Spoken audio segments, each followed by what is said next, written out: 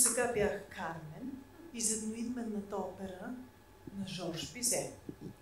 А сега ще съм Гергана Николаева, оперната певица, която вярва, че всеки един може да пее. Като чухте тази ария си мислите, тя нещо се е объркала най-вероятно и ние не можем да пеем. Това не е така. Аз го доказах през последната година, тъй като сънувах този проект и веднага реализирах, всеки може да пее. Записаха се 10 човека, от които имах политик, ректор, издател. За едномесечно обучение те стъпиха на голямата сцена и бяха пред 300 души. Бяха аплодирани наистина, както аз сега а, получиха огромен подарък, точно тази вяра, която ни доказва, че ние можем да направим всяко едно нещо, когато сме убедени, разбира се. И искам да се запознаем и ще ви помоля, след като кажа старт, всеки един от вас да си каже името силно, за да мога да го чуя. Старт! Охо, супер, супер. Георги чух тук. Някои имат по-силни гласове. Прекрасно, така. За мен е изключително вълнуващ момент днес, тъй като ще се разпеем заедно 400 души. Това е голям експеримент. Наистина.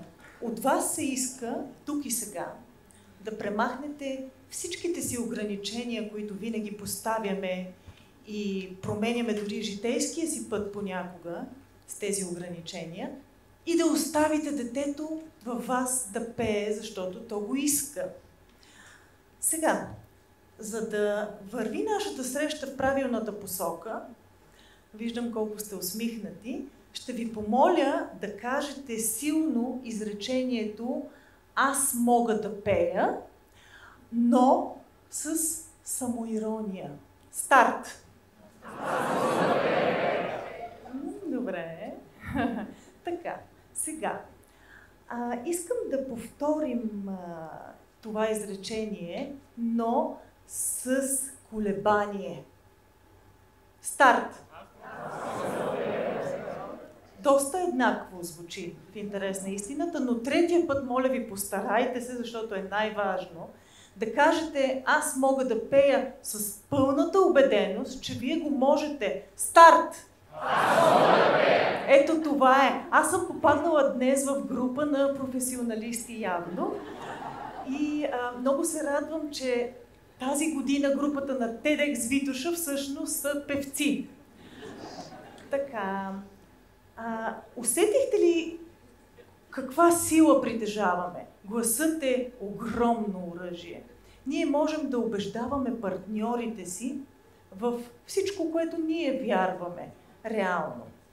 И ежедневието ни е една голяма сцена. Всичко, което днес чуете тук, че се случва на сцената, перфектно можете да го използвате в ежедневието си. А, след като вече повярвахме, че можем да пеем, искам да ви питам, бъдете по-смели, а, пеете ли в банята? Да.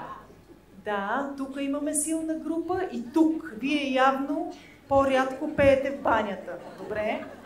Но за да може човек да пее, е много важно нещо. Никога не го пропускам да го казвам на всички.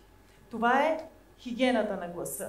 Това е гласът ни да бъде здрав и свеж, тъй като с него общуваме, с него разменяме мисли, емоции, ние пеем с него.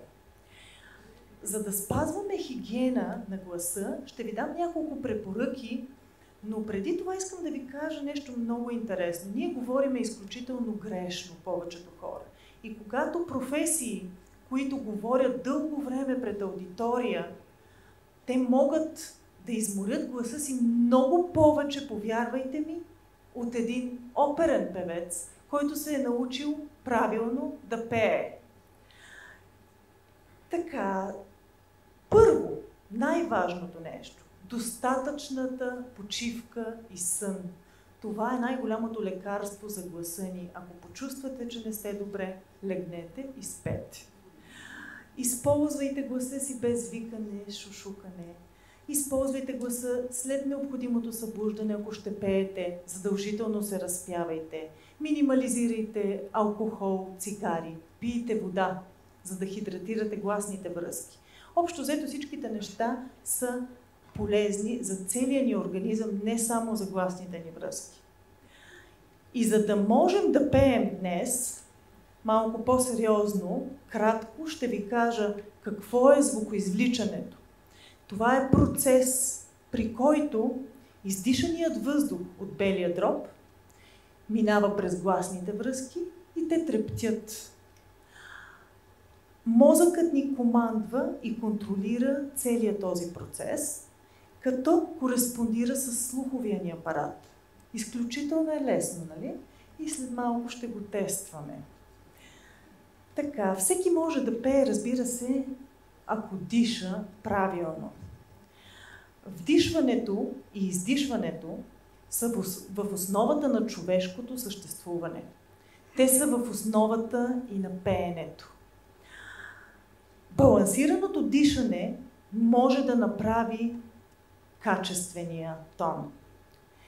И за това сега искам да преминем към едно от интересните ни упражнения. Набързичко ще ви го разкажа, след което ще ви помоля да станете и ще ви напътствам. Ще поемеме въздух с всяко едно кътче на тялото си, докато усетиме, че белите ни дробове са пълни. Ще спрем за две секунди, за да анализираме къде е, да усетим къде е този въздух, след което ще започнем изпускане на буквата С. Ще стане нещо от сорта на С. Колкото по-дълго, толкова по-добре. Целта на това упражнение е да увеличаваме, да увеличаваме въздуха си, за да можем да имаме по-дълга и по-хубава фраза, когато пеем, разбира се, защото ви предстои след малко. Отнесете се много сериозно. Станете, моля. Изключително важно за пеенето е добрата изправена стойка на тялото. В никакъв случай не трябва да сте стегнати, но трябва да сте много активни. Започвате вдишването през носа и запълвате бавно всяко едно кътче. Започвайте. Спирате за 2 секунди и започвате си спускането на Давайте, давайте, не спирайте. Активно до край. Трябва да усетите коремните си мускули много активни. Още, още тази група там много слабо се чува. Добре, има още съскане. Браво. Има тук някои много силни. Явно сте пели в банята. Добре. Отново същото упражнение. Поемете въздух Всяко едно кътче запълнете, без да повдигате раменете и изпускайте. Още, още. Пеенето е трудна професия. Още. Браво! Още съскате, още. Има някои много добри. Така, сега малко ще ви затрудня. Същото упражнение, но искам да сложим буквата Р. Тази буква е доста коварна. Р. Обедена съм, че ще има хора, на които няма да им се получи, но не се травмирайте, защото това трябва повторение всеки ден. И така, готови ли сте? Старт!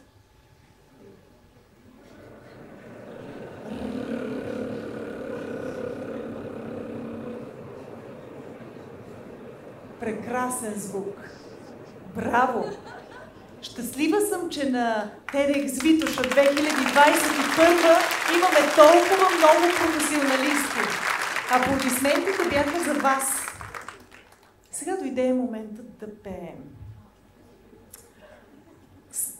Тък му сте изправени, тък му сте дишали. По същия начин вдишвате, но ще изпълнявате след мен. Имитирайте ме, веднага като ви го изпея, ще сте вие. След това аз пак ще го изпея и отново вие.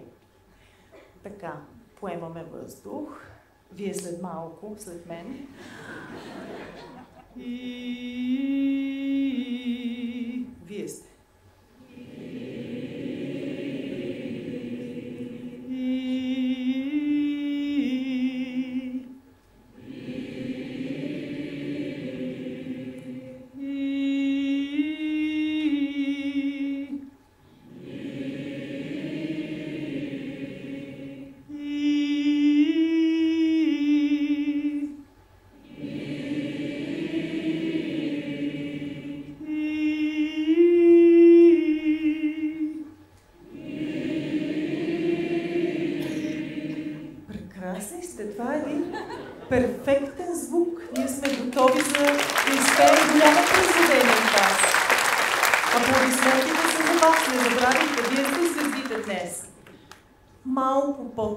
Същото упражнение, но с едно тонче допълнително. Пак повтаряте след мен.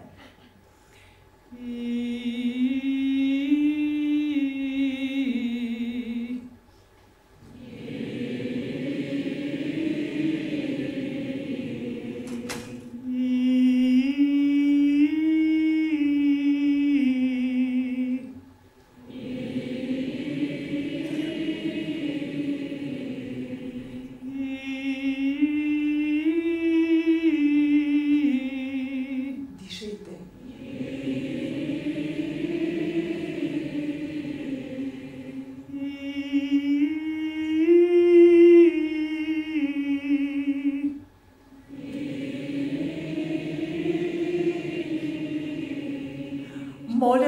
аплодисменти за вас.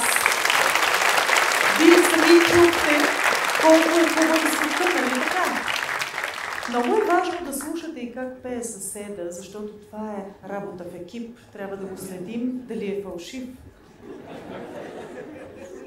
Така, и тъй като тук са ми сложили часовник, няма как за това време гласът да се разпее.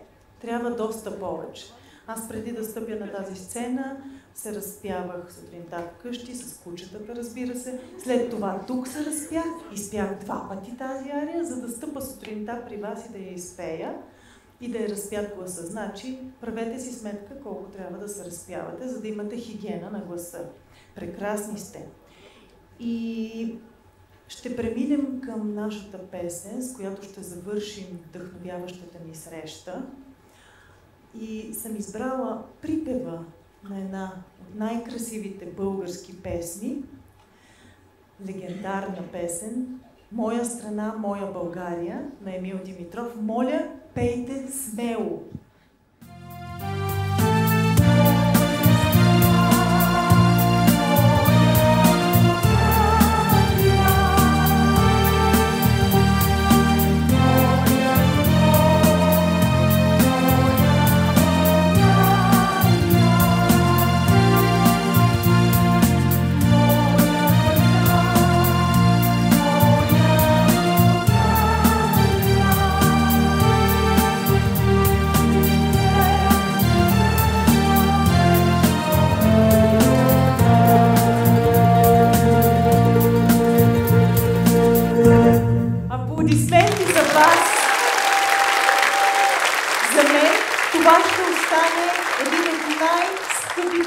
Спомени, надявам се и на вас. И огромно доказателство, че музиката е едно от най-силните, могъществени сили. Тя обединява. Никога не забравяйте, че не само всеки може да пее, а всеки трябва да пее. Нека бъдем силни заедно. За мен беше чест да пея днес с вас. Благодаря.